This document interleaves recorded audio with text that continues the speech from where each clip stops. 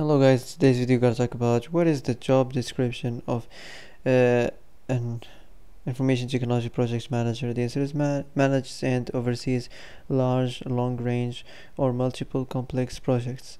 So that's for today. I hope this is the answer you've been looking for. If you like this video, don't forget to like and subscribe and see you in the next video.